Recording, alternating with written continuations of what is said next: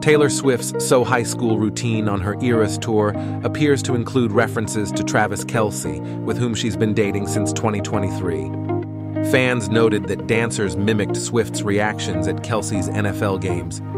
Kelsey cheered her on from a distance during the start of the European leg of the tour and posted his excitement on social media. Their public relationship showcases mutual support for each other's careers, with Kelce hinting at attending future shows as Swift continues her tour across Europe and the UK before returning to North America.